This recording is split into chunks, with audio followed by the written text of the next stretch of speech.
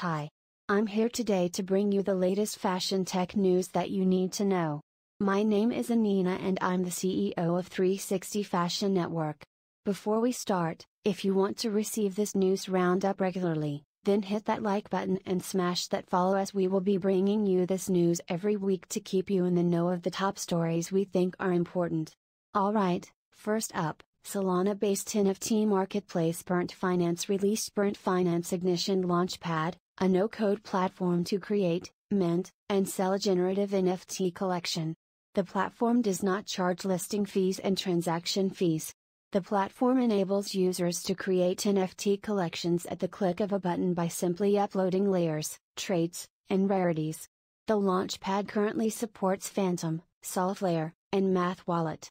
News source Burnt Finance AI is being used on board the International Space Station to check for damages to astronauts' gloves. The new AI model analyzes images of the gloves to produce a probability score that a glove was damaged. The model was trained on photos of both damaged and undamaged gloves and uploaded to HPE's computer on the ISS for edge processing in real time. News source GeekWire The Black Lives Matter protests of 2020 shed light on the trillion dollar fashion industry's deep entanglement with corporate racism and, for the first time, attempted to hold brands accountable while the whole world watched. Remake's 2021 Fashion Accountability Report, released approximately 19 months after brands had been put in the public hot seat for their backwards behavior, discovered a different reality. The report, which assessed 60 of fashion's most profitable and influential brands, revealed that only 11 companies, roughly 18 of the study's sample size, invested in the communities where they operate, taking race, class and gender into consideration. News source, Remake World, holograms are 3D images produced by interfering beams of light that reflect physical objects or photographs. In recent years, they were introduced in a variety of settings, for instance to enhance employee training or create more engaging art. Researchers at Lawrence Livermore National Laboratory, University of California Berkeley, and Princeton University have recently used holography to design a new type of lens made from plasma. Essentially, the new holographic plasma lenses use the phase shift occurring when light passes through plasma to create a phase zone plate. This is essentially a type of optic in which the constructive and destructive interference of light produces a high intensity focal spot after the lens.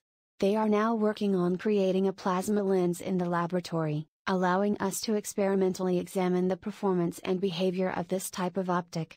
News source, Phys.org, Miami's iconic fashion festival, Miami Swim Week The Shows, is returning to Miami this summer from July 13 to July 18 at the SLS South Beach Hotel spotlighting the latest swim and resort wear fashion designs along a stunning, brand new virtual fashion swimwear metaverse like never seen before. This year Miami Swim Week presents Zed, a metaverse fashion project launching in spring of 2022.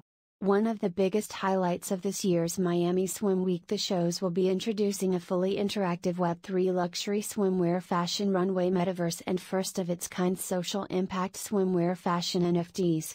In addition, Select events and shows will be ticketed with exclusive collectible NFT tickets, available for sale to influencers, VIP guests, and industry professionals. News source DC Swim Week, and that's it for today. If you want to get the full top 10 fashion tech news items of the week, check out our new podcast 360 Fashion or go to 360 Fashion. net podcast or search for it on your favorite podcast platform. Don't forget to subscribe so that you won't miss our latest episode. Get to subscribe